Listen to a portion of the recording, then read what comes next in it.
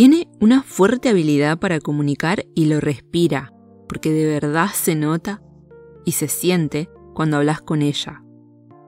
Quiere ser locutora, pero no de las convencionales, sino para castear a sus amigas del equipo femenino de Dota en Argentina. Laura Jorgelina Colazo tiene 26 años. Nació el 20 de junio en la ciudad de Merlo, provincia de Buenos Aires, Argentina. Es streamer y es más conocida como Pulpina. Juega al Dota desde hace 10 años. Empezó a jugarlo a los 15, en plena adolescencia. Y sí, vivió muchísimos momentos de vicios, para escondidas de su papá. Vamos a escucharla, que nos cuenta todo esto. Bueno, mis inicios en los videojuegos se, se remonta a que yo tenía 5 años, ¿no? Viendo la tele, era muy fanática de ver la tele yo, eh, de Digimon. Principalmente en las propagandas mostraban consolas, viste, eh, en ese momento la Family, y yo la quería, la quería, y bueno, a mí me compraron una Family, pero la Family trucha, la que era que parecía que, la blanca, que vos parecía que ibas a poner un CD, pero abrías la tapa y era para poner un cartucho. Eh, tenía muchos cartuchos de mil en uno y esas cosas, viste, que, que venían con juegos variados. Pero los que más recuerdo son el de la pistolita, tenía la pistolita, jugaba al Dog Hunt, que era el jueguito de los patos, que, bueno, cuando le errabas a todos los patos, el perro venía y se te reía en la cara, ¿no? Obviamente. Y, y le disparabas al perro, pero no pasaba nada. Eh, y también el Circus Charlie, que era la payasita con el león que iba saltando, ¿no? En los aros de fuego. Eh, ya después de ese momento, yo, bueno, me tuve que mudar, ¿no? Eh, con mi familia a una ciudad que queda al norte de Buenos Aires, que se llama Varadero. Ahí yo dejé un rato, digamos, de, jugar videojuegos hasta que tuvimos nuestra propia PC en nuestra casa, eh, que bueno, era una grandota de tubo, viste, como las de antes. Yo más o menos tenía, no sé, 11 años por ahí y jugaba con mi hermanito. Tengo dos hermanos menores y jugaba con ellos. Y jugábamos juegos de tanques, viste, todo de, en páginas web, digamos. Y mi hermanito, algo curioso, es que él aprendió a escribir eh, primero su nombre en la compu que escrito, digamos. Un genio, la verdad. Fue eh, en 2014, eh, mi abuela fallece y ella siempre quiso que tuviera mi propia computadora. Entonces mi abuelo y mi tío fueron hasta el shopping y, me compraron una notebook, ¿no? Y me la regalaron para mi cumpleaños. Yo en ese momento, bueno, tenía 15 años, ¿no? Me la regalaron para mi cumpleaños de 15 y como, como regalo, ¿no? De mi cumpleaños de 15 y yo dije, bueno, quiero jugar porque a mí siempre me encantaron los videojuegos. Entonces un amigo me dice, descargate el Dota. Y yo digo, bueno, dale. Eh, ahí arranqué a jugar con Dota desde 2014, después en 2016, el último año de, del secundario, eh, lo que hacía era, a mi papá no le gustaba mucho que yo jugara a los videojuegos, entonces eh, ni se iba del trabajo, él trabajaba de 6 de la mañana a 2 de la tarde. Yo me despertaba a las 5 y media, esperaba que él se fuera y me ponía acostada con la notebook en mi cama para jugar Dota desde 6 de la mañana hasta 2 de la tarde y después cuando él volvía parecía que yo no había jugado todo el día. y obviamente me ponía en mi cama porque no, podía ir al comedor, digamos, a una mesa, digamos, para, para no despertar a los demás. Y bueno, hoy en día lo, recuerdo con, con mucha risa y si te estás enterando por acá, papá, bueno, hola. Eh, lo que pasa con los esports hoy en día me parece que es muy parecido a lo que pasó con el ajedrez en su momento, ¿no? Que la gente veía, pero ¿cómo puede ser un deporte el ajedrez si vos solamente estás moviendo las fichas, solamente, digamos, como que no veían un esfuerzo físico, entonces ya decían, no, eso no es un deporte, lo catalogaban así. Me parece que es algo muy similar a lo que estamos pasando hoy en día. Dicen, no, pero si están con la computadora, ¿Cómo, cómo va a ser un deporte eso, no? Eh, realmente las generaciones no, no lo entienden, ¿no? Hoy en día hasta en las noticias salen, ¿no? Que por ahí un equipo sale segundo o primero y, le empiezan a hacer una entrevista y los entrevistadores parece que o no se informaron o qué, o medio que los, los ningunean, ¿viste? los tratan de hacer quedar mal solamente porque no hay un esfuerzo físico, ¿no? Y me parece que se están olvidando todo lo que es el, el, esfuerzo mental que uno pone, ya sea o en el ajedrez o en los juegos, ¿no? En los juegos de la compu, como le dicen, ¿no? Eh, está bien, entiendo que es de otras generaciones, ¿no? Porque antes realmente no, no existía eso. ¿Cómo vas a dedicarte a jugar juegos, ¿no? ¿Cómo vas a, a dedicarte a eso? ¿Cómo vas a estar todo el día con la computadora jugando, digamos, pero eh, hay realmente una preparación atrás, hay gente que practica, o sea, no es solamente de que una vez empezaron a jugar un juego, eh, ahora lo juegan bien, entonces por eso, digamos, van a... Van a, van a participar. No, o sea, realmente son preparaciones, eh, también estudios, o sea, de estudiar al rival, ¿no?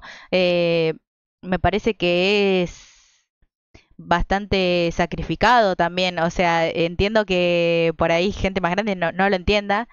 Y son de otras generaciones, también hay que, hay que entenderlos. Pero bueno, nosotros tratamos de, de darnos a conocer, ¿no? Y, y, que sea lo más sano posible y así como en las carreras, ¿no? Los autos están todos tuneados con sponsors, eh, las camisetas de los jugadores, ¿no? Eh, tienen sus sponsors así de periféricos de, computadoras, ¿no? Y básicamente eh, es un deporte como para mí eh, deja de tenerse tanto prejuicio cuando ya empieza a generar eh, dinero, ¿no? Cuando, cuando uno ya tiene su, su sponsor, ya, ya tiene como un aval, ¿no? Eh, con respecto al Dota femenino, eh, hoy en día la verdad que yo soy amiga, bueno, de dos de Lu y de Debo, estoy viendo que le ponen mucha garra, que practican, que realmente, o sea, se ponen la camiseta, digamos. Eh, la verdad que le veo mucho futuro a las chicas. yo las voy a apoyar, la verdad que mi sueño, castearlas algún día, ¿no? Porque, bueno, ¿no? Porque jugadoras mujeres, bueno, que la casté también una, una mujer. Yo ahora, bueno, con el curso de, de, radio que quiero hacer para, eh, bueno, castearlas a ellas principalmente. Así que eh, yo les tengo mucha fe, siempre les voy a desear lo mejor, que lleguen muy lejos, o sea, y siempre me voy a poner feliz porque se dé más a conocer, más chicas también se metan a jugar Dota porque bueno, no somos tantas y las que estamos nos conocemos entre todas. Entonces, bueno, para agrandar también un poco más la comunidad, para eh, sentirse más partícipes, siempre yo trato de seguirlas donde donde ellos cualquier torneo que hagan, yo las miro, tipo, la verdad que mm, a mí me encanta, me, me reemociona y me hace muy feliz. Bueno, eh, lo más tóxico de Dota mm, no me parece que esté en Dota en sí, sino fuera de Dota. Eh, hay bastantes grupos de, de, Facebook, ya son, ya sea como la Beba Army o Alpaca Army, que ahí es donde opinan, digamos, se sienten con la libertad de opinar sobre los demás, eh, no, no de sus habilidades de Dota, sino de su físico, de cosas que le haya pasado en la vida. Eh, también, bueno, pasó este tema con Sideral, que él quiso organizar en Navidad una chocolatada y la gente en vez de ir al lugar de la chocolatada fue al lugar donde él vivía, de donde él alquilaba y le rompieron parte de, ese lugar y yo creo que él después eh, se tuvo que hacer cargo de los daños que otras personas habían hecho a su hogar. Eh, creo que después se mudó, si no estoy equivocada, pero entiendo que eh, en la juventud de una multitud de gente que nadie los puede parar realmente. Y no es algo que tenga que ver con, Dota en sí, digamos, pero son grupos de, gente que o jugó Dota o por ahí no conoce tanto el juego, pero se mete a esos grupos y se siente con, con el derecho digamos, de, meterse en la vida de los demás. También eh, hubo gente que, que eh, a mí por lo menos me, me amenazaba, me decían, eh, no, porque le vamos a decir a, tu familia que, que, estás en un grupo de Dota, que qué sé yo, o sea, le, le, hablaron a mi mamá, mi mamá me preguntó, che, ¿qué es esto? No, un chico de un grupo de Facebook, le digo. Y me dice, ah, bueno, está bien, pero realmente... Eh, ya sea con tu familia con conocidos, te amenazaban y ellos se sienten con el poder de hacerlo digamos, de, de, amenazarte. A mí por lo menos no me importa realmente porque eh, la gente de mi universidad no le importa lo que yo haga. A mi familia eh, no es que no le importe, pero realmente e, ellos saben, digamos, quién soy y lo que hago y todo eso. Entonces, pero a alguien realmente que le afecte eso, que por ahí no quieran que sus padres se enteren que juega Dota, no sé, algo así. O sea, me parece que, que estás jugando con la vida de los demás y te, te sentís con el derecho de hacerlo, que me parece que es gravísimo. Eh, pero eso no tiene que ver con el juego, digamos, es por fuera del juego y aún así eh, opiniones de tu cuerpo vas a tener miles. Eh, de cómo jugás por ahí no tanto y es lo más triste, por lo menos dame una dame un feedback de cómo juego para mejorar yo, pero pero no, no solamente le importa tipo si sos gorda, si sos flaca, si sos morocha, si sos rubia, si o sea, no es lo importante, no jugás, digamos, con... Yo no juego con mi gordura, no juego con el sobrepeso que tengo, digamos, ¿no? Pero eh, se sienten tan con el derecho de hacerlo y lo hacen, eh, también eh, intuyo que es por una inseguridad de uno mismo, ¿no? Que, que refleja sus problemas en los demás y... Pero bueno, yo lo tomo por ahí, lo trato de tomar lo más sano posible. Insultaré, devolveré los insultos, todo, pero trato de que no me afecten y, realmente es un consejo que les quiero dar a todas que no, no les afecte, porque esas personas no van a ser ni fu ni fa en tu vida. Al final el que decide en tu vida sos vos, solamente vos y nadie más. Así que vivan como quieren vivir ustedes. Que nadie les diga lo que tienen que hacer. ¿Lo han visto no sé, que se comportaba diferente porque, no sé, es una chica, eh, dijeron, ay, no, se maquilló, tipo, ay, no, se sacó una foto mientras estaba practicando, y es como que por ahí los chicos, no sé, no, no le dan, no le prestan mucha atención, pero eh, cualquier excusa va a ser buena, digamos, para sacar a una mujer, claro, para quitarla del medio, ¿no? Eh, y decir, no, no, no vengan, está bien. O sea, si la chica tiene el mismo MMR que ellos, digamos, ¿Por qué es distinto? Ahí me parece que, es lo que hay que, discutir, digamos. Lo más loco que me haya pasado, uy, yo estaba jugando eh, a las 3 de la mañana con, un compañero, eh, Santiago se llama. Eh, nada, estábamos jugando y estábamos jugando lo más normal la partida. Abre, no me acuerdo si era una chica o un chico, abre el micrófono y se escucha alienígena, no se entendía nada nosotros decíamos, estamos en la quinta dimensión, ¿qué pasa? O sea, nos empezamos a reír porque decía, pero ¿en qué server está jugando? ¿En Marte? Digamos, porque, porque no podía creer lo raro que se escuchaba, o sea, y hablaba, bla, bla, o sea, hablaba como todo así, yo no entendía nada. Decía, pero estamos jugando en Brasil, digo, pero el portugués no suena, no suena tan raro. Y estaba, estaba realmente con, hasta el día de hoy nos seguimos riendo. Y pasó hace como 10 años, o sea, 9, 10 años. O sea, hasta el día de hoy nos seguimos riendo de esa partida y de que yo le dije, ¿en qué server jugás? En Marte, porque la verdad que no se le entendía nada. Eso es lo más loco, tipo, que me pasó en una partida, digamos, pero nada más. Claro, pero en ese tiempo, claro, en ese tiempo, ¿quién, iba a tener un modulador de voz? Hoy en día, no, sí, hoy en día te, escucho. Un marciano, sí, no pasa nada. Pero hace, no, pero fue loquísimo en ese momento para mí. Imagínate, me marcó tanto que hasta el día de hoy sigo haciendo chistes de eso, no. No, no, no, es tremendo. Y no, y bueno, cuando te digo, cuando me despertaba a las cinco y media de la mañana para jugar, ahí estaba en el primer podi y segundo estaban los estudios digamos, pero hoy en día eh, cambió eso, está primero los estudios, después, bueno, mi, mi salud emocional, digamos, mental, y en realidad tendría que ser primero mi salud mental, pero bueno, a veces, a veces la pongo en primer lugar y otras veces la pongo en segundo, digamos, porque con los estudios siempre está peleado.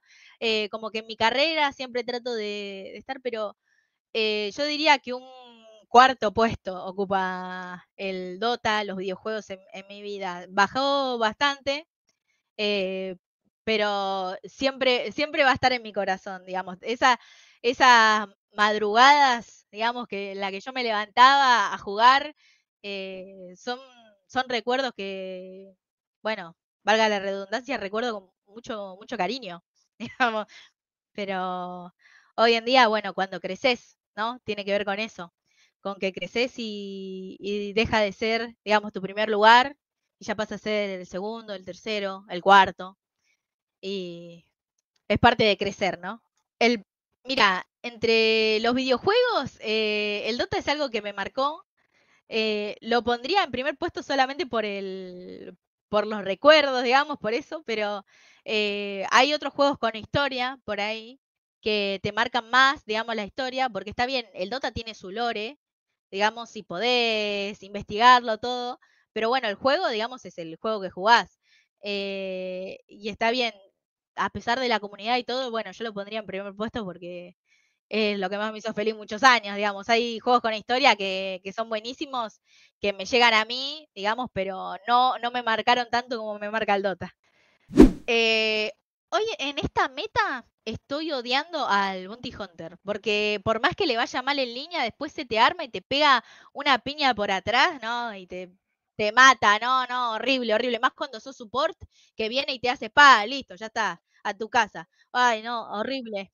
Horrible, horrible, horrible. No, y el héroe que más me gusta, bueno, ay, tengo varios, pero bueno, si tengo que elegir una, es la que tengo tatuada, a la Winter. El, a ver, elijo, ay, em, bueno, la Winter me gusta mucho, el Lion y el Witch Doctor. el Witch Doctor cuando te tira el casquit que empieza a rebotar, tipo, y vos te quedás como, ay, no, ya viene, ya viene un stun. eh, rol favorito, bueno, Support 5 y no, odiado HC. Creo que jamás podría jugar a HC. Nunca digas nunca, dicen, pero no, HC. Muy complicado. Y Mr. Choco. Mr. Choco. Es muy gracioso, es muy gracioso y, me cago de risa con los, eh, con los casteos que, hace. Y te informa, ¿no? Lo, que, lo que pasa en la partida. Y de paso te reís. A mí me parece que esos caster así. O sea, yo aspiro a ser así, la verdad. Uh, eh, Genius cuando ganó eh, el internacional que estaba eh, Sumel, eh, Universe, ahí como que Universe es mi jugador favorito y ahí ese, ese internacional que lo ganaron fue el TI mío favorito, la verdad. Es Ishi, pero bueno, hoy en día digamos no estoy con un, con un equipo, pero pero Ishi en su momento. Eh, Universe. Universe me encanta. Aparte me acuerdo que hacía covers de canciones de Disney. Y la gente que es muy graciosa, así que, que hace esas cosas, a mí me encantan. Hay gente que por ahí dice, no, miraste ridículo lo que hace. No, a mí es lo que me, llegó de él, digamos. Universe es mi jugador favorito. Bueno, yo con el tema de los ítems, eh, además sacando el QWER, los que uso mucho son los del costado del mouse, porque tengo como, como activación rápida, digamos, y eso me ha salvado, digamos, tengo la daga y por ahí veo que vienen, aprieto dos veces con el clic, digamos, ahí, ahí nomás en, en, el mouse. Y no, es re raro lo que te estoy diciendo, ¿no? Pero claro, y ya se va, ya se va. Entonces, como que medio raro, ¿no? Y ahí, y la tecla de espacio, la de la del TP, aprieto dos veces, ¡pum! Ya me fui, ya está. Ahí cuando ves, viste, cuando te están buscando entre los árboles y vos te estás tepeando y vos decís, ay, por favor que no me encuentren, por favor que no me encuentren. Y no te encuentran y te tepeas, te sentís, ay, no, no, genial. Sí, lo hice bien, lo hice bien. Exacto. Sí, es que es complicado. La verdad que encima tiene un CD importante, entonces vos tenés que decidir dónde tepearte. O sea, es una decisión eso. También cuando te vienen así todos, como que empezás a hacer cálculos. Este tiene stun. Ah, bueno, pero si me escondo en estos arbolitos, viste, no, llega. Viste, como que empezás a hacer cálculos en tu mente, digamos, para, para ver si llega o no. Hacerlo un poco más. Va, yo por lo menos hago tres veces a la semana. Eh, yo por lo menos trato de, que sea participativo, ¿no? De los martes son party, los jueves son ranked yo solo y los sábados son los extensibles, digamos. Eh, los, los, jueves de, de ranked sí, soy yo sola porque en general no juego party. Eh, en stream, digamos, después por fuera sí juego party, pero por lo menos en stream trato de que no, porque a veces hay mucha, mucha bulla, ¿viste? Hay muchos hablando, ¿viste? Eh, claro, y entonces yo estoy diciendo, ay, gracias por el follow, ¿viste? Pero, este, pero claro, que, y, y, yo estoy con mis amigos mientras, entonces como no, a mí personalmente, pero también entiendo que también está, está bueno porque también hay un ida y vuelta con el chat, también con los chicos que están en en la partida, digamos, ¿no? Viste, se ríen de un chiste que me hicieron en el chat y esas cosas. O sea, eso también está bueno, pero bueno, yo siempre priorizo, digamos, que no haya tanta, tanta bulla. No, en realidad yo empecé en 2019 porque en la Battle Cup eh, había ganado y yo no sé por qué me, agarró unas ganas de, ay, tengo ganas de, de, hacer stream para que vean que, que, juego bien, mentira, no jugaba bien, pero gané una Battle Cup y era como, ay, gané una Battle Cup, pero nada. Eh, bueno, buenísimo. La verdad que muchas gracias por invitarme. Para mí siempre va a ser un placer todo lo que tenga que ver con el Dota femenino. Yo siempre voy a tratar de, apoyar, de unirme a la causa, digamos, es algo que, me apasiona, digamos, más allá de, que yo tenga mis cosas en la vida, digamos, es algo que siempre voy a tratar de, estar presente. Eh, porque me parece que es muy interesante y muy bueno para las chicas, para las chicas nuevas que se sumen, que sea todo más ameno, ¿no? Que conozcamos, que nos conozcamos más entre nosotras. Hoy en día, viste, la verdad que sí, nos conocemos entre todas, viste, nos queremos mucho, yo tengo mis amigas, viste, tengo tengo fotos con ellas, o sea, salimos, eh, merendamos, o sea, realmente es algo muy lindo esto. Ojalá que la comunidad pueda seguir creciendo y también hacer más partícipe a, las mujeres, no por, no por la condición de mujer en sí, sino por realmente las habilidades que unas tiene y el compromiso, ¿no? Porque qué compromiso, ¿no? Eh, juntarse, ¿no? Eh, y practicar, viste, más allá de tu vida, viste, querer mejorar, me parece que es un sacrificio muy grande que, merece ser reconocido. Dale, un besito. Ah, bueno. Cuando quieras cuando, cuando quieras jugamos y la, subimos, la subimos a medalla, ¿eh? Te enseño a tepear, te digo, dale, dale, tepeate, tepeate. sí, sí, soy de Géminis. Claro, claro, sí, yo lo mucho. bueno.